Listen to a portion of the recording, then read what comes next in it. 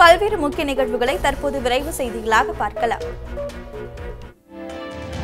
சென்னையில் petrol litre ஒன்று எழுபத்தி நான்கு ரூபாய் எண்பது காசுகள் டீசல் லிட்டர் அறுபத்தி எட்டு ரூபாய் தொன்னூற்றி நான்கு காசுகளுக்கு விற்பனை செய்யப்படுகிறது. சென்னையில் பெட்ரோல் நேற்றைய விலையில் மாற்றமின்றி ஒரு லிட்டர் ரூபாய் எழுபத்தி நான்கு புள்ளி எட்டு ஆகவும் டீசல் நேற்றைய விலையில் மாற்றமின்றி ஒரு லிட்டர் அறுபத்தி எட்டு ரூபாய் தொன்னூற்றி நான்கு காசுகளாகவும் உள்ளது. இந்த விலை இன்று காலை முதல் அமலுக்கு வந்தது. காஞ்சிபுரம் மாவட்டம் மதுராந்தகம் அடுத்த விலாங்காடு பகுதியில் உள்ள தனியார் பள்ளியில் ஒன்பதாம் ஆண்டு விளையாட்டுப் போட்டிகள் நடைபெற்றன. இதில் கராத்தே யோகா கபடி கொக்கோ ஓட்டப்பந்தயம் உள்ளிட்ட பல்வேறு விளையாட்டுகள் இடம்பெற்றன. வெற்றி பெற்ற மாணவர்களுக்கு முன்னாள் அத்லட்டிக் ஒலிம்பிக் போட்டியில் தங்கம் வென்ற ஆப்ரஹாம் ராஜன் பதக்கம் மற்றும் சான்றிதழ்களை வழங்கினார். விநாயகர் சதுர்த்தியை முன்னிட்டு கொடைக்கானலில் இருந்து ஏழைகளின் ஆப்பிள் என அழைக்கப்படும் பேரிக்காய் வெளி மாநிலங்களுக்கு ஏற்றுமதி செய்யப்படுகிறது. ஏழைகளின் ஆப்பிள் என்று அழைக்கப்படும் பேரிக்காய் சீசன் தொடங்கியுள்ளது. இந்த பேரிக்காய்கள் மலை பிரதேசங்களில் மட்டும் அதிகமாக விளைகின்றன. பேரிக்காய் சர்க்கரை நோயை கட்டுப்படுத்தக்கூடிய மருத்துவ குணம் இருப்பதால் பொதுமக்கள் அதிக அளவில் விரும்பி சாப்பிடுகின்றனர். மேலும் பேரிக்காய் பழமான பின்பு பேரிக்காய் ஜாம் செய்வதற்கும் பயன்படுகிறது. தற்போது விநாயகர் சதுர்த்தியை முன்னிட்டு வெளி மாநிலங்களான கேரளா கர்நாடகா பெங்களூரு மும்பை ஆகிய பகுதிகளுக்கு அதிக அளவில் பேரிக்காய் ஏற்றுமதி செய்யப்படுகிறது. இதனால் பேரிக்காய் விவசாயிகள் மகிழ்ச்சி அடைந்துள்ளனர். சந்திரனில் ஆய்வு நடத்த இஸ்ரோ அனுப்பியுள்ள சந்திராயன் டூ மிகப்பெரிய சாதனை என்று நாசா விண்வெளி வீரர் டொனால்ட் தாமஸ் தெரிவித்துள்ளார். கன்னியாகுமரி மாவட்டம் நாகர்கோவிலில் உள்ள தனியார் பள்ளியில் நடைபெற்ற விழா ஒன்றில் நாசா முன்னாள் விண்வெளி வீரர் மற்றும் விஞ்ஞானி டொனால்ட் தாமஸ் பங்கேற்றார். பின்னர் செய்தியாளர்களிடம் பேசிய அவர் இன்னும் ஐந்து ஆண்டுகளில் விண்வெளியில் சுற்றுலா தொடங்குவதற்கான வாய்ப்புகள் உள்ளது என்றும் அடுத்த இருபத்தி ஐந்து ஆண்டுகளில் விண்வெளியில் மனிதன் வாழ்வதற்கான வாய்ப்புகள் உருவாகும் என்றும் அவர் கூறினார். உலக நாடுகள் அனைத்துமே விண்வெளியில் ஒரே கூரையின் கீழ் பயணித்து வருவதாக கூறிய அவர் முதலில் யார் கால் பதிக்கிறார்கள் என்ற போட்டி மட்டுமே உள்ளது என்றும் தெரிவித்தார். திருவள்ளூர் மாவட்டம் திருப்பாலைவனத்தில் சாலை விதிகள் மற்றும் தலைக்கவசம் அணிவதை கட்டாயம் கடைபிடிக்க வேண்டி வாகன ஓட்டிகளிடம் காவல்துறையினர் மற்றும் மாணவர்கள் இணைந்து விழிப்புணர்வை மேற்கொண்டனர். திருப்பாலைவனம் காவல்துறை ஆய்வாளர் மூர்த்தி வாகன ஓட்டிகளுக்கு துண்டு பிரசுரங்களை வழங்கி இந்த விழிப்புணர்வு பிரச்சாரத்தை மேற்கொண்டார்.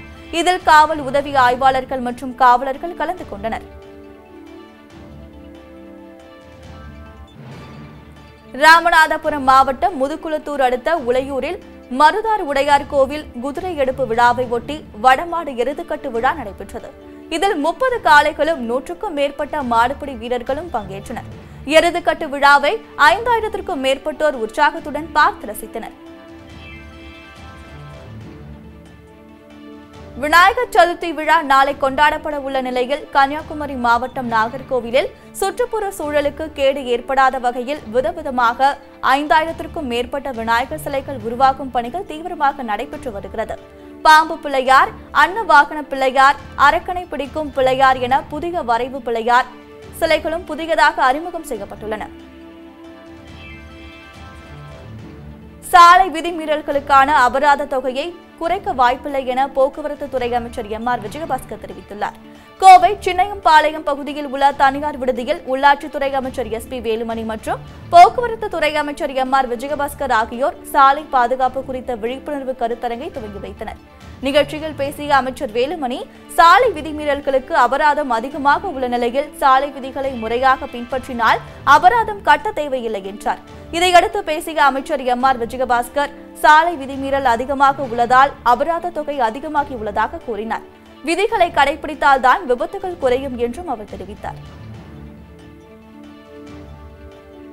மேடை இசைக்கலைஞர்கள் தமிழ் பாடலை பாடியதற்காக தாக்குதலில் ஈடுபட்ட கன்னட அமைப்பினரை கண்டித்து சென்னை வள்ளுவர் கோட்டம் அருகே தமிழ் மேடை இசைக்கலைஞர்கள் முன்னேற்ற சங்கம் சார்பில் கண்டன ஆர்ப்பாட்டம் நடைபெற்றது.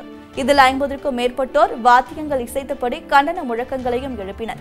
மேடை இசையினை காப்பாற்ற டிஜி நிகழ்ச்சிகளை திருமணங்களில் நடத்த தமிழக அரசு தடை விதிக்க வேண்டும் என்றும் அவர்கள் வலியுறுத்தினர்.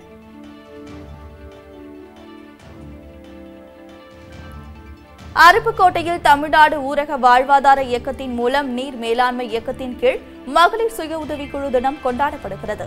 இந்த தினத்தை முன்னிட்டு நடைபெற்ற விழிப்புணர்வு பேரணியை விருதுநகர் மாவட்ட ஆட்சியர் சிவஞானம் கொடியசைத்து துவங்கி வைத்தார். இந்த பேரணியில் ஆயிரத்திற்கும் மேற்பட்ட சுய உதவிக்குழுவை சேர்ந்த மகளிர் கலந்து கொண்டனர். மேலும் மகளிர் தொழில் முனைவோர்களுக்கு கடன் உதவி வழங்கப்பட்டது. மேலும் மகளிர் குழுக்களுக்கு வங்கி இணைப்பு கடன் உதவியும் ஆயிரம் மகளிருக்கு மரக்கன்றுகளும் வழங்கப்பட்டது. தூத்துக்குடி மாவட்ட ஒருங்கிணைந்த குழந்தைகள் வளர்ச்சித்துறை சார்பில் அங்கன்வாடி மைய பணியாளர்களுக்கு அங்கன்வாடி மைய செயல்பாடுகள் குறித்து ஆன்லைனில் பதிவேற்றும் பணிக்காக விலையில்லா கைபேசிகள் வழங்கும் விழா விளாதிக்குளம் ஒன்றிய அலுவலக கூடரங்களில் நடைபெற்றது. அமைச்சர் கடம்பூர் ராஜு பயனாளிகளுக்கு கைபேசிகளை வழங்கினார். விழாவிற்கு மாவட்ட கலெக்டர் சந்தீப் நந்தூரி தலைமை வகித்தார். விளாதிக்குளம் எம்எல்ஏ சின்னப்பன் வட்டாட்சியர் ராஜ்குமார் மாவட்ட குழந்தை வளர்ச்சி திட்ட அலுவலர் முத்துலட்சுமி ஆகியோர் கலந்து கொண்டனர். பேட்டரி மற்றும் மின்சார வாகன தொழில்நுட்ப தயாரிப்புகளின் வளர்ச்சியை ஊக்குவிப்பதற்காக ஸ்மார்ட் என புதிய மன்றம் கோவையில் தொடங்கப்பட்டுள்ளது. இதன் சார்பில் நடைபெற்ற கண்காட்சியில் புதிய வகையில் வடிவமைக்கப்பட்டுள்ள பேட்டரி மற்றும் மின்சாரத்தால் இயங்கும் புதிய கார் மற்றும் பைக்குகள் இடம்பெற்றுள்ளன. மேலும் இந்நிகழ்ச்சியில் ரூட்ஸ் குழுமத்தின் தலைவர் ராமசாமி மற்றும் ஜெயம் ஆட்டோமேட்டிக் நிர்வாக இயக்குனர் ஆனந்த் கேசிடி நிறுவன தலைவர் வானவராயர் ஹேமலதா மற்றும் பலர் கலந்து கொண்டனர்.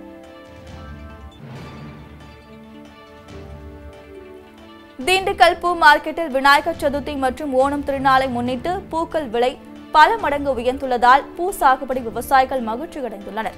திண்டுக்கல் மாநகராட்சி அண்ணா வணிக வளாகத்தில் உள்ள பூ மார்க்கெட்டுக்கு வெள்ளோடு சின்னாளம்பட்டி நரசிங்கபுரம் தருமத்துப்பட்டி கன்னிவாடி உள்ளிட்ட பல கிராமங்களில் இருந்து சுமார் அறுபது டன் பூக்கள் விற்பனைக்கு வருகிறது. வறட்சி மற்றும் போதிய மழை இல்லாததாலும் அறுபது டன் பூக்கள் வரவேண்டிய பூ மார்க்கெட்டிற்கு நாற்பது டன் பூக்களே கொண்டு வரப்படுகின்றன. தொடர் முகூர்த்தம் மற்றும் விநாயகர் சதுர்த்தி விழாவை முன்னிட்டு பூக்களின் தேவை அதிகரித்துள்ளதால் பூ விலை பல மடங்கு உயர்ந்துள்ளது.